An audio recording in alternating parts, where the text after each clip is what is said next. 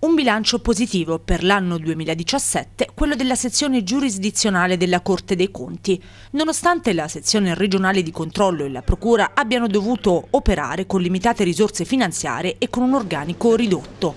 Dati snocciolati dal presidente della sezione giurisdizionale Tommaso Miele nel corso dell'inaugurazione dell'anno giudiziario. Siamo andati addirittura ben oltre i dati degli altri anni, abbiamo superato sicuramente le, le, le, i 140 giudizi, sicuramente non tutti conclusisi con condanna, ma noi siamo qui a fare i giudici, quindi non è che dobbiamo solo condannare. Se invece vediamo che eh, in taluni casi magari c'è stato un danno, ma non c'è stata la colpa grave, nemmeno che mai il dolo, eh, assolviamo. Quindi, quindi ci sono stati tantissimi giudizi, di questo diamo atto alla, alla, procura regionale. Diverse le fattispecie più dannose sottoposte a giudizio della sezione, alcune riguardanti amministratori comunali, in un altro caso un dirigente medico.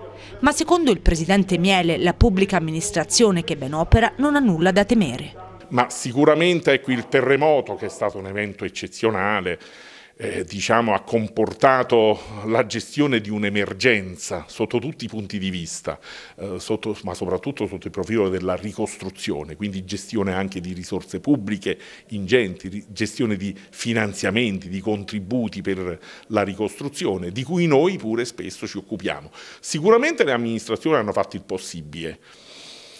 Ci sono stati anche dei casi che sono venuti alla nostra attenzione, sono tante fattispecie di responsabilità amministrativa di eh, illecita percezione di contributi per la gestione eh, della, per la ricostruzione post-sisma del 2009. Per i giudizi pensionistici la Corte ha zerato il proprio arretrato, soddisfando le istanze in tempi brevi. La giurisdizione pensionistica rispetto agli altri anni è stata pressoché azzerata. Di questo ringrazio particolarmente i miei colleghi e tutto il personale amministrativo che veramente ha lavorato tantissimo.